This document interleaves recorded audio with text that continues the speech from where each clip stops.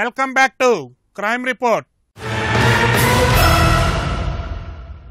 ఇష్టపడి పెళ్ళి చేసుకున్నారు కొన్నాళ్ళు అన్యోన్యంగానే ఉన్నారు.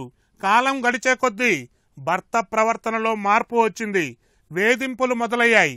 దీంతో భార్య పోలీసుల్ని ఆశ్రయించింది కానీ ఆ గొడవ పోలీసులకు పెద్ద తలనొప్పిగా మారింది. ఎటూ నిర్ణయం తీసుకోలేని సందిగ్ధంలో పడేసింది. ఇంతకీ ఏం జరిగింది? తిరుపతి స్పెషల్ బ్రాంచ్ ఎస్ఐగా పనిచేస్తున్న విద్యాసాగర్కు కడపకు చెందిన హరీషాకు రెండేళ్ళ క్రితం వివాహం జరిగింది. కొంతకాలం సంసారం సాఫీగానే సాగింది. ఇంతలోనే భార్యాభర్తల మధ్య విభేదాలు తలెత్తాయి. వాగ్వాదాలు మొదలయ్యాయి. దీంతో కడపలోని తన పుట్టింటికి వెళ్ళిపోయింది హరీష. తన భర్త వేధిస్తున్నాడని కడప మహిళా పోలీస్ స్టేషన్లో ఫిర్యాదు చేసింది. తనను రోజు లైంగికంగా చిత్రహింసలు పెడుతున్నాడని ఆరోపించింది. తనకు విడాకులు మంజూరు చేయాలని కోర్టును ఆశ్రయించింది. మూడో రోజు నన్ను మా అమ్మ వాళ్ళ ఇంటి దగ్గర వదిలి దగ్గర నుంచే నన్ను చాలా టార్చర్ పెడుతున్నాడండి. ఆన్లైన్లో వెబ్ క్యాన్ ఆన్ చేయడము లైవ్ సెక్స్ చూపించడము చెయ్యడము ఈ స్వాపింగ్ ఒప్పుకోమని అడగడము త్రీసమ్ అని అడగడము చాలా ఇబ్బంది చాలా మానసికంగా శారీరకంగా ఎప్పుడు హింసించేవాడండి. అందుకని నేను ఇవన్నీ భరించలేక కట్నం కోసం కూడా రమ్మని చెప్పి తెమ్మని చెప్పి చాలా సతాయిచ్చేవాడండి తర్వాతకి నేను భరించలేక రెండు వేల పదమూడులో కడపకి వెళ్ళి ఎఫ్ ఎఫ్ఐఆర్ పెట్టాను. డీవీసీ కేసు పెట్టాను. అయితే విడాకుల కోసం కోర్టులో ప్రక్రియ నడుస్తుండగానే విద్యాసాగర్ మరో వివాహం చేసుకున్నాడు. దీంతో ఆగ్రహించిన హరీష తిరుపతికి వచ్చి భర్తతో గొడవకు దిగింది. తనకు విడాకులు ఇవ్వకుండానే తన భర్త మరో పెళ్ళి చేసుకున్నాడని తిరుపతి ఈస్ట్ పోలీస్ స్టేషన్లో ఫిర్యాదు చేసింది. తనకు న్యాయం చేయాలని డిమాండ్ చేస్తోంది. వీడు నన్ను సరిగా చూసుకోవడం లేదు. వదిలిపెడితే వచ్చేస్తావా అంటాము. ఇవి చేస్తా ఉన్నింది ఇద్దరం సేమ్ ల్యాప్టాప్ యూజ్ చేస్తామండి. సేమ్ ల్యాప్టాప్ యూజ్ చేస్తాము.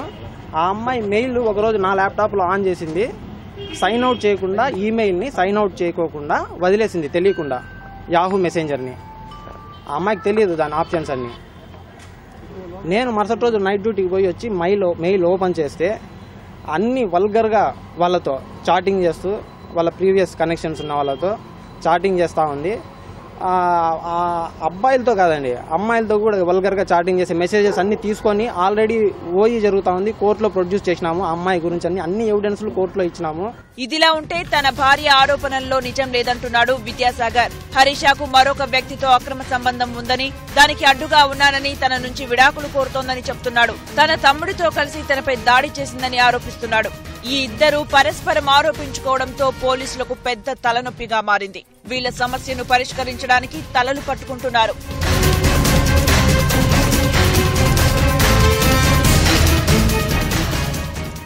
ఇప్పుడు క్రైమ్ బ్రీఫ్ చూద్దాం. మెదక్ జిల్లా కంటి ఎస్ఐ వేధింపులు భరించలేకపోతున్నామంటున్నారు స్థానికులు. పోలీస్ స్టేషన్కు ఫిర్యాదు చేయడానికి వెళ్ళిన వ్యక్తుల్ని డబ్బుల కోసం వేధిస్తున్నాడని ఆరోపిస్తున్నారు. లంచాలు తీసుకుంటూ అక్రమంగా చావబాతున్నాడని చెప్తున్నారు. దీంతో ఉన్నతాధికారులకు ఫిర్యాదు చేయడానికి సిద్ధమయ్యారు స్థానికులు. నకిలీ ఫైనాన్స్ క్లియరెన్స్ సర్టిఫికెట్లతో మోసం చేస్తున్న వ్యక్తిని హైదరాబాద్ సీసీఎస్ పోలీసులు అదుపులోకి తీసుకున్నారు. ఫైనాన్సులతో వాహనాలు తీసుకుని వాటికి ఫేక్ క్లియరెన్స్ సర్టిఫికెట్ సృష్టించి ఫైనాన్స్ కంపెనీల్ని మోసం చేస్తున్న శ్రీనివాస్ రెడ్డిని అరెస్ట్ చేశారు. ఇతని దగ్గర నుంచి తొమ్మిది కార్లను స్వాధీనం చేసుకున్నారు. నెల్లూరు జిల్లా పొదలకూరు మండలం నావూరుపల్లిలో వివాహిత దారుణ హత్యకు గురైంది. మృతురాలికి పశువుల్ని కాచే నర్సయ్యతో చిన్న విషయంపై వివాదం వచ్చింది. గొడవ పెద్దదవడంతో నర్సయ్య కరతో రమణమును బలంగా మోదడంతో ఆమె అక్కడికక్కడే ప్రాణాలు కోల్పోయింది. నిందితుడిని పోలీసులు అదుపులోకి తీసుకున్నారు. హైదరాబాద్లోని రాయదుర్గం పోలీస్ స్టేషన్ పరిధిలోని మణికొండలో ఓ వ్యక్తి బుల్లెట్ తగిలి గాయపడ్డాడు. బైక్పై వెళ్తున్న శ్రీనివాస్కు అకస్మాత్తుగా బుల్లెట్ తగిలి చేతికి గాయమైంది. కేసు నమోదు చేసుకున్న పోలీసులు దర్యాప్తు చేస్తున్నారు. శ్రీకాకుళం జిల్లా ఎల్ఎన్పేటలో ఒకే కుటుంబంలోని నలుగురు వ్యక్తులు అనుమానాస్పదంగా మృతి చెందారు. బైక్ మెకానిక్గా పనిచేస్తున్న భద్రయ్య అతని భార్య ఇద్దరు కుమారులు ఇంట్లో మృతి చెంది ఉండడాన్ని గ్రామస్తులు గమనించారు. సంఘటనా స్థలాన్ని పరిశీలించిన పోలీసులు మృతిపై ఆరా తీస్తున్నారు. హైదరాబాద్లోని కోటిలో పట్టపగలే భారీ దోపిడీ జరిగింది. తరుణ్ డైరీలో పనిచేస్తున్న శ్యామ్ సుందర్ దిలీప్ కుమార్లు ఇసామియా బజార్లోని విజయ బ్యాంకులో నలభై లక్షలు జమ చేయడానికి వెళుతున్నారు. బైక్పై వెళుతున్న వేళ్ళపై కోటి నైన్టీ ఫోర్ బస్టాప్ వద్ద నలుగురు గుర్తు తెలియని వ్యక్తులు కత్తితో దాడి చేసి సొత్తును దోచుకు వెళ్ళారు. దీంతో బాధితులు పోలీస్ స్టేషన్లో ఫిర్యాదు చేశారు. హైదరాబాద్లోని కాచిగూడ బిగ్ బజార్లో చోరీ జరిగింది. మూడు అంతస్తులోకి చొరబడిన దొంగలు ముప్పై ఐదు సెల్ ఫోన్లు ఏడు కెమెరాలు పదిహేను ల్యాప్టాప్లను ఎత్తుకు వెళ్ళారు వీటితో పాటు స్టోర్ రూమ్లోని సెల్ ఫోన్లను కూడా దొంగిలించారు. అయితే ఇది గతంలో ఇక్కడ పనిచేసిన సెక్యూరిటీ గార్డుల పనేనని సీసీ ఫుటేజీ ద్వారా తెలిసింది. కేసు నమోదు చేసుకున్న పోలీసులు నిందితుల కోసం గాలిస్తున్నారు. మనసులు కలిస్తేనే ప్రేమ జీవితాంతం కలిసుంటామనే నమ్మకమే ప్రేమ. ప్రేమించే ముందు ఆలోచించండి. ప్రేమ పేరుతో మోసపోవద్దు.